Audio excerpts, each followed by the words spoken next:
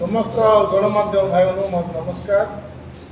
ଆଜି ଏ ସାମ୍ବାଦିକ ସମ୍ମିଳନୀ ଡାକିବାର ମୁଖ୍ୟ ଉଦ୍ଦେଶ୍ୟ ହେଉଛି ବର୍ତ୍ତମାନ ଆମ ଜିଲ୍ଲାରେ ଜିଲ୍ଲା ପ୍ରଶାସନ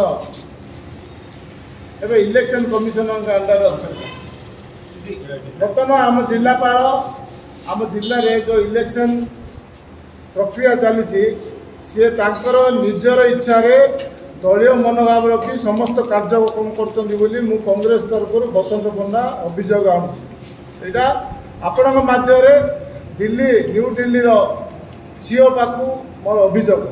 କିନ୍ତୁ ଏଠି ଅବଜର୍ଭରକୁ ବି ମୁଁ ବହୁତ ଥର କଲି ମୁଁ ତାଙ୍କ ସାଙ୍ଗରେ ଡାଇରେକ୍ଟ ଦେଖା କଲି ଗତକାଲି ତାଙ୍କ ସାଙ୍ଗେ ବି ଡିସ୍କସନ୍ କରୁଛି।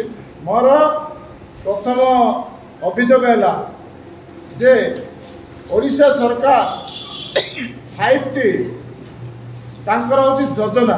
ଓଡ଼ିଶା ସରକାର ବିଜେପି ସରକାରର ଏଇଟା ଯୋଜନା। କିନ୍ତୁ ପାଳାଖେଣିପୁଅ ଜିଲ୍ଲାର ଯେତେ କୋଣ ଅଣକୋଣରେ ଯେତେକ ବୋର୍ଡ଼ ଲାଗିଛି ସବୁ ଜାଗାରେ ଫାଇଭ୍ ଟି ଲେଖା ହେଇଛି। ଏବେ ନବୀନ ପଟ୍ଟନାୟକ ମାନ୍ୟବର ମୁଖ୍ୟମନ୍ତ୍ରୀ ସହିତ ପାଣ୍ଡ୍ୟା ଆସିଛ ତାଙ୍କର ନିର୍ବାଚନ ସଭା କଲେ ତାହିଁରେ ବି ଫାଇଭ୍ ଟି ଗ୍ୟାରେଣ୍ଟି ବୋଲି ଅଛି। ସେଇ ଉପରେ ବି ମୁଁ ଆମର ଅବଜର୍ଭରଙ୍କୁ ଆମର ଅବଗତ କରେଇଲି କାଲି ଫଟୋ ଦେଇଛି ଲେଖିକି ଦେଇଛି। ମୁଁ ବି ଟ୍ୱିଟ୍ କରିଛି ସବୁ ପ୍ରକାର କାର୍ଯ୍ୟକ୍ରମ ତାହା ହେଇପାରିଲାନି। ଦେଖନ୍ତୁ ଆମର କଂଗ୍ରେସ ଦଳର ଏକ୍ସ ଚେୟାରମ୍ୟାନ୍ ମୋ ପାଖରେ କୌଣସି ଦଳୀୟ କାର୍ଯ୍ୟ କରୁଥିଲେ ତାଙ୍କୁ ଟ୍ୱେଣ୍ଟି ଫୋର୍ ଆୱାର୍ସ ଭିତରେ ତାକୁ ଡିସମିସ୍ କରିଦେଲେ। କିନ୍ତୁ ଆମେ ତାପରେ ତାଙ୍କର ସମୀକ୍ଷା ସବରକୁ ଆମ ସମୀକ୍ଷା ଗମାଙ୍ଗ ତା ଉପରେ ଅଭିଯୋଗ କରୁ କରୁ କରୁ ତାକୁ ତାଙ୍କେ ସସ୍ପେଣ୍ଡ କରିଛନ୍ତି ତାକୁ ଡିସମିସ୍ କରିନନ୍ତି ପୁଣି ଗୁମା ଚେୟାରମ୍ୟାନଙ୍କର ହଜବେଣ୍ଡ ଯିଏ ହେଉଛି ଜାଖବ ଗମାଙ୍ଗ ସିଏ ବିଜେଡ଼ିର ଏମ୍ ଏଲ୍ ଏ କ୍ୟାଣ୍ଡିଡେଟ୍ ସାଙ୍ଗରେ ବିଜେଡ଼ି କାର୍ଯ୍ୟକ୍ରମରେ ସବୁ କାର୍ଯ୍ୟକ୍ରମ ଆଗ ରହିକରି କାର୍ଯ୍ୟ କରିବାର ସମସ୍ତ ସୂଚନା ଦେଇକି ତାର ଫଟୋ ସାଙ୍ଗରେ ଆମେ ଜିଲ୍ଲାପାଳଙ୍କୁ ମେଲ୍ କଲୁ ଜିଲ୍ଲାପାଳଙ୍କୁ ମିଶିଲୁ।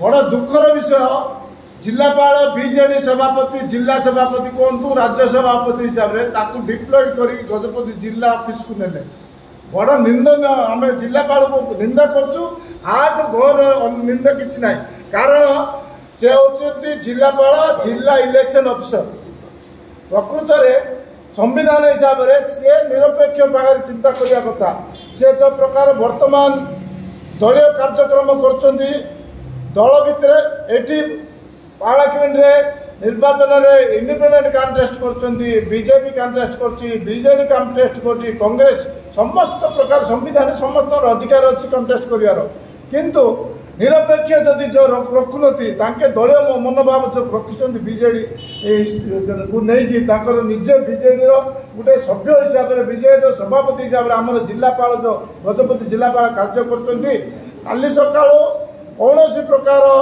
ଅଘଟଣ କୌଣସି ଅପ୍ରତିକର ପରିସ୍ଥିତି ଯଦି ସୃଷ୍ଟି ହୁଏ ସମ୍ପୂର୍ଣ୍ଣ ଭାବରେ ଗଜପତି ଜିଲ୍ଲାପାଳ ଦାୟୀ ରହିବେ। ମୋର ଏଇଟା ଅଭିଯୋଗ। କିନ୍ତୁ ନିରପେକ୍ଷ ଯଦି ଚିନ୍ତା କରିଥାନ୍ତେ ବେଲେ ଏ ପ୍ରକାର କାର୍ଯ୍ୟକ୍ରମ ହେବନି ବୋଲି ମୁଁ ଆଶା କରୁଛି। ବର୍ତ୍ତମାନ ସବୁ ଦଳରେ କଥାବାର୍ତ୍ତା ହେଉଛନ୍ତି। ବିଜେଡ଼ି ଦଳର କାର୍ଯ୍ୟକ୍ରମ କଲେ ତାଙ୍କୁ ଏକ୍ସନ୍ ହେଉନନ୍ତି ଆଉ ବିଜେପିର ଯଦି କଂଗ୍ରେସର କଲେ ସାଙ୍ଗେ ସାଙ୍ଗେ ଏକ୍ସନ୍ ହେଉଛି। ମୁଁ ମୋହନା ନିର୍ବାଚନ ମଣ୍ଡଳୀରେ ମୋହନା ନିର୍ବାଚନ ଦୁଇ ଜଣର ସୁଷମା ଗୌଡ଼ ଅନିତା ଦାସର ବି ଦେଇଛି ତାଙ୍କର ଏ ପର୍ଯ୍ୟନ୍ତ କୌଣସି ପ୍ରକାର ଏକ୍ସନ୍ ହେଇନି। ଆଉ ଜିଲ୍ଲାପାଳ ଫାଇଭ୍ ଟି କ'ଣ ପାଇଁ ରଖିଛନ୍ତି। ମୋର ପ୍ରଶ୍ନ ହେଲା ଫାଇଭ୍ ଟି କ'ଣ ତାଙ୍କର ବାପା ନା ତାଙ୍କ ମା ନା ଓଡ଼ିଶାର ଓଡ଼ିଶାର କ'ଣ ସେ ଯୋଜନା? ଫାଇଭ୍ ଟି ସମୁଦାୟ election code of conduct viral ହେଉଛି ନା ନାହିଁ ଆମର ଜିଲ୍ଲାପାଳ ଗଜପତି ଜିଲ୍ଲାପାଳ modern code of conduct viral କରୁଛନ୍ତି। ସେ ନିଜେ ସମ୍ପୃକ୍ତ ଅଛନ୍ତି। ଏଇଟା ମୁଁ ଆପଣଙ୍କ ମାଧ୍ୟମରେ ଓଡ଼ିଶାର ଇଲେକ୍ସନ କମିଶନ ଆଉ ଭାରତର ଇଲେକ୍ସନ କମିଶନ ପାଖରେ ଅଭିଯୋଗ କରୁଛି। ଯଥାଶୀଘ୍ର ଗଜପତି ଜିଲ୍ଲାପାଳକୁ ଇଲେକ୍ସନ ଚାରି ଦିନ ପୂର୍ବରୁ ଅଛି ଇଲେକ୍ସନ ପୂର୍ବରୁ ଏଠୁ ଟ୍ରାନ୍ସଫର କରାଯାଉ। କାହାକୁ ଏମର୍ଜେନ୍ସି ଆଣିକି କରାଯାଉ। ଯଦି ଆ ଉପରେ ଯଦି କୌଣସି କାର୍ଯ୍ୟାନୁଷ୍ଠାନ ଗ୍ରହଣ ନ କଲେ କୌଣସି ପ୍ରକାର ଅପ୍ରତିକର ପରିସ୍ଥିତି ଘଟିଲେ କେବଳ ଗଜପତି ଜିଲ୍ଲାପାଳ ହିଁ ଦାୟୀ ରହିବେ।